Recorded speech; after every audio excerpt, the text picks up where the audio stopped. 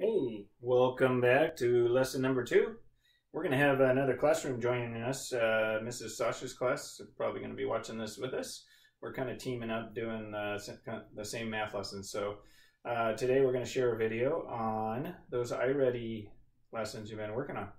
So we already had a little intro video and hopefully you've worked on or finished the first lesson and are ready to go to the second. So I'm just going to review a little bit of what hopefully came out of lesson one. All right, so we were talking about exponents and where we had a base. In this case, we have a base of 4 and an exponent of 3. And over here, we have a base of 4 again and an exponent of 2. Now, if you have two things multiplied that have the same base, you can combine them. So we can expand this out the long way, uh, which would be 4 times 4 times 4 for the first one. Which is 4 to the third. And then that is times 4 times, oh, I ran out of room. That's okay. 4 squared. Okay, now if you look up there, there are six of those. I lied there are only, forgot a four, there are only five of them, okay?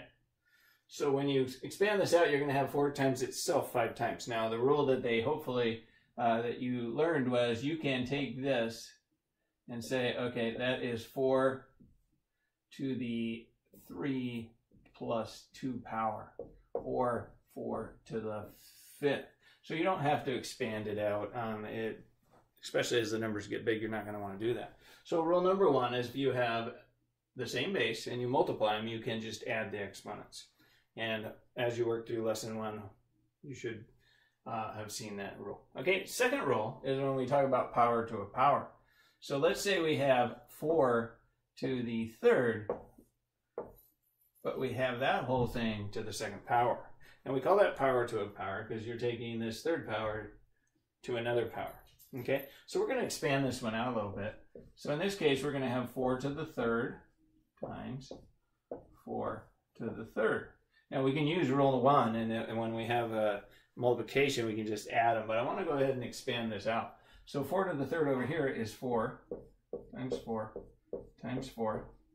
And this one over here is another 4 times 4 times 4 so you have these two and they are times each other. Now if you look, you have 4 times itself 6 times.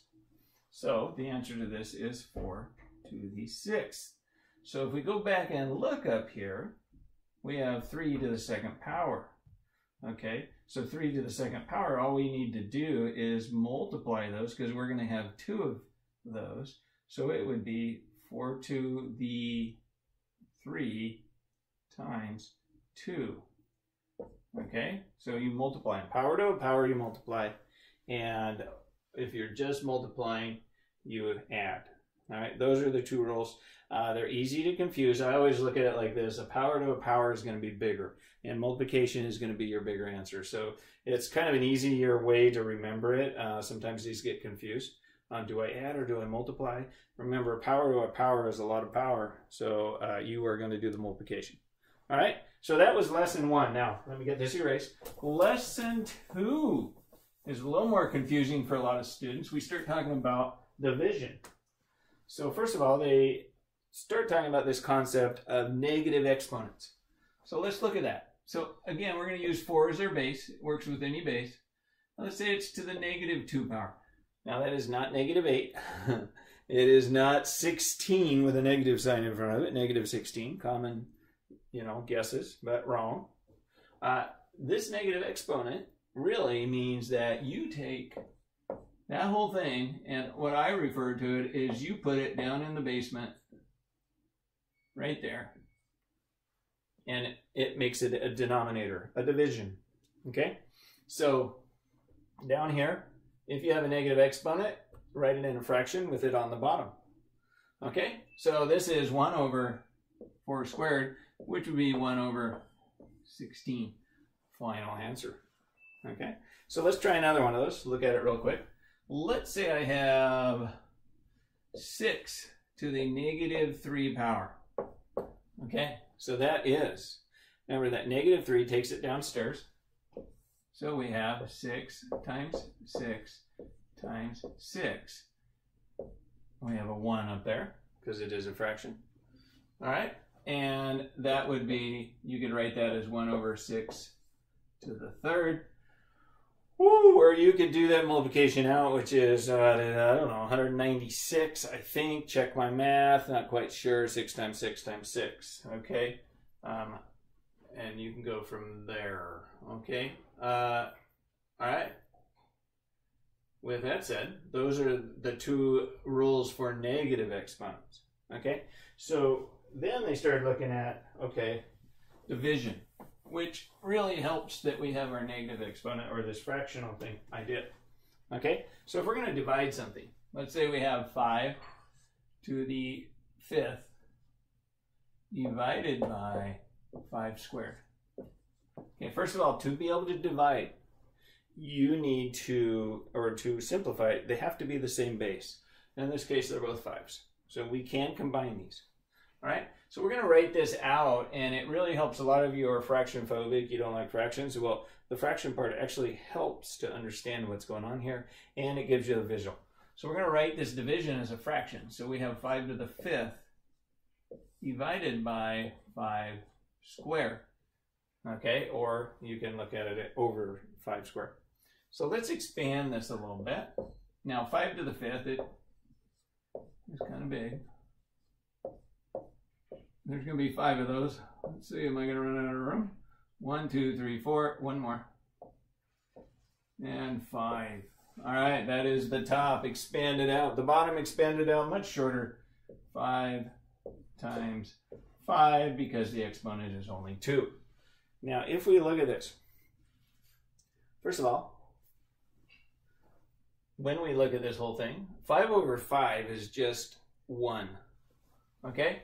So these two can cancel each other and become a 1, which is really nice. So we're going to start canceling these uh, one for one here. So that one cancels with that one, that one cancels with that one. We don't have anything left on the bottom but a 1. Okay? And over here we have one, two, three fives left. So we have 5 times 5 times 5 over 1. Okay? And the other way to write 5 times 5 times 5 is 5 to the third over 1. Now anything over 1, we can just write it without the 1 underneath it. Okay? Now when we have that, if we look back where we started and where we ended up. So if you look at this, that 5 and that 2 ends up a 3. So we can simply, because what we're doing is we're subtracting the bottom ones off of the top by canceling. So the rule here is that you can take this original problem up here and you can say that's equal to 5 to the 5 minus 2 power, which gives us 5 to the third. So a lot shorter than having to write it out the long way. So remember, multiplication, we added those two exponents, right? When this was multiplication, we added the two exponents. In division, which is the opposite of multiplication, we subtract them. So it is 5 to the third. Okay, so let me give you another example problem real quick. This time we're going to do the shortcut method, not expand it out, because hopefully you like shortcuts. I do.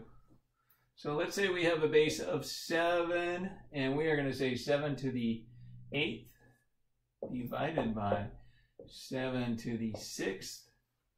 Now, if you think about this, we would have six sevens on the bottom, eight on the top, and if they started canceling, we're going to be left with two upstairs.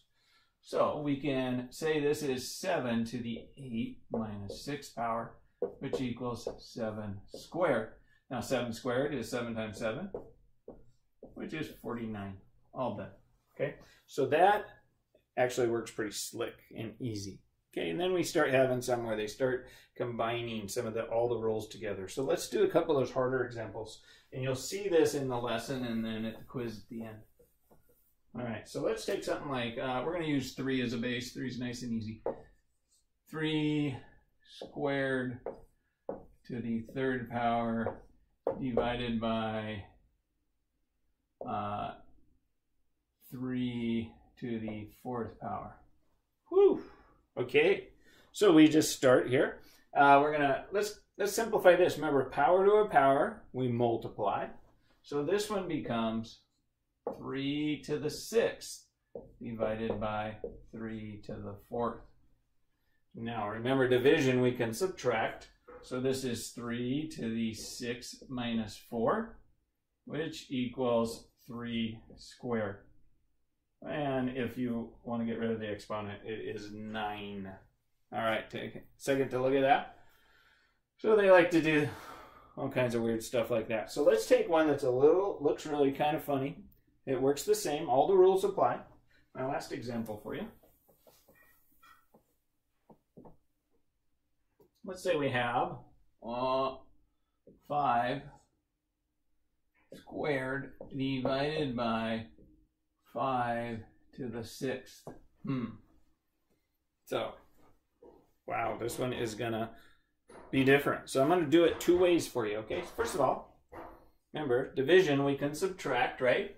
So this should equal 5 to the 2 minus 6. Now you guys are good at negative positive numbers. 2 minus 6 is not 4, right? It is negative 4. So this equals 5 to the negative 4 power. Okay, now that looks funny, but when I do it the other way, I think you're going to see what's going on here. So if I take that, I got 5 squared over 5 to the 6th. I'm going to expand that out so you can see what's going on. There's my 5 squared. And on the bottom, I've got, I've got I'm going to just do them like this and put the times sign in in a second because it's easier on a whiteboard. One, two, three, four, five. One more. That is a lot of fives and messy plus signs. Okay, wow. Now, cancellation game. All right, that one cancels, that one cancels. There is no more on top, but remember when they all cancel, they cancel to one. So I have one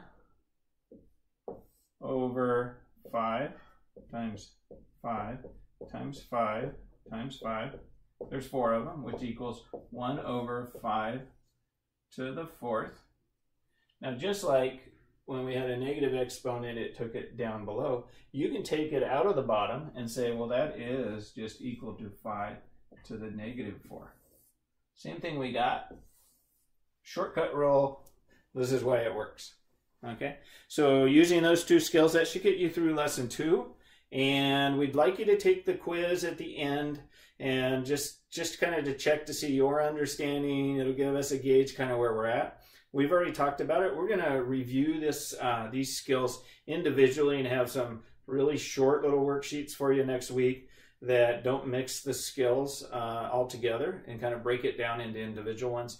The, these two lessons cover four concepts all uh, together that sometimes get confused with each other. So next week's all about having some more practice with this.